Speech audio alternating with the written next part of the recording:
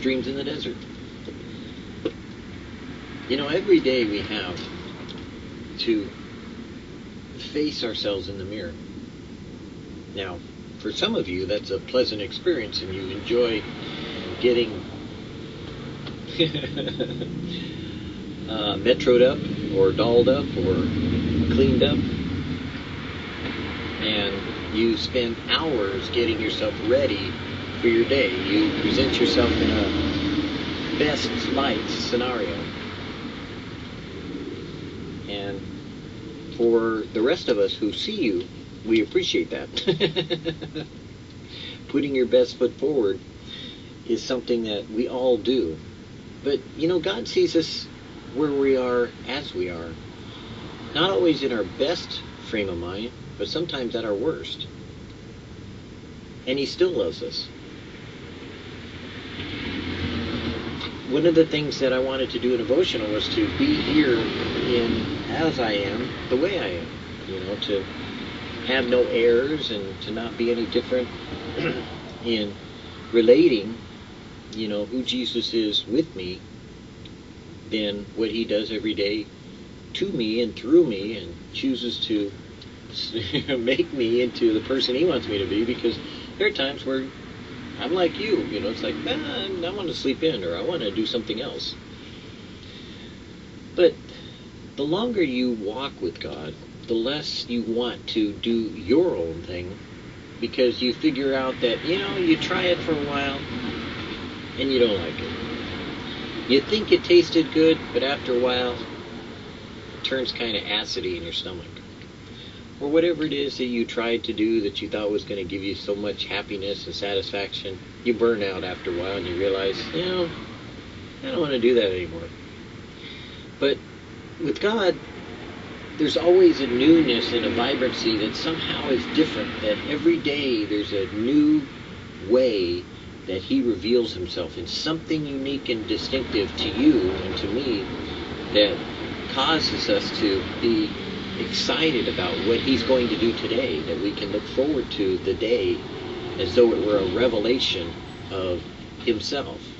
Literally, a revelation of Jesus Christ to you a revelation of Jesus to me. And that's what devotions do, and reading the Word of God does. That it's not a question of getting up and getting ready and looking at yourself in the mirror, but sometimes looking in the Word is a revelation of looking at Jesus in you and in me. And the more that He reveals Himself in us, the less we see ourselves and our mistakes and the more we see what He is making of us. The Lord hath his way in the whirlwind and the storm. Nahum 1.3 I recollect when a lad, and while attending the Classical Institute in the vicinity of Mount Pleasant, sitting on an elevation in that mountain, and watching a storm as it came up the valley. The heavens were filled with blackness, and the earth was shaken by the voice of thunder. It seemed as though that fair landscape was utterly changed, and its beauty was gone, never to return.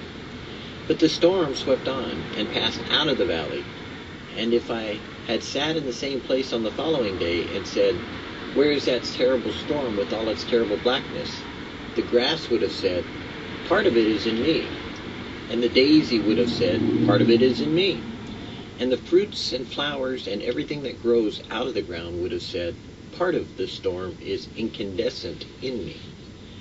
Have you asked to be like your Lord? Have you longed for the fruit of the Spirit?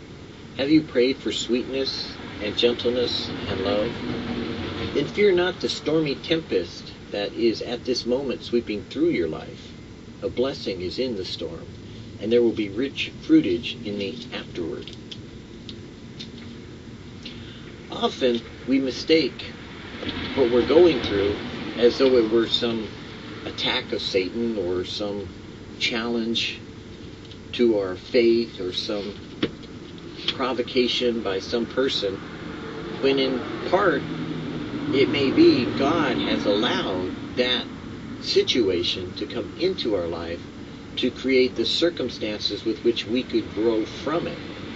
It isn't always the devil attacking you or it isn't always your flesh warring against you, though both of those do occur.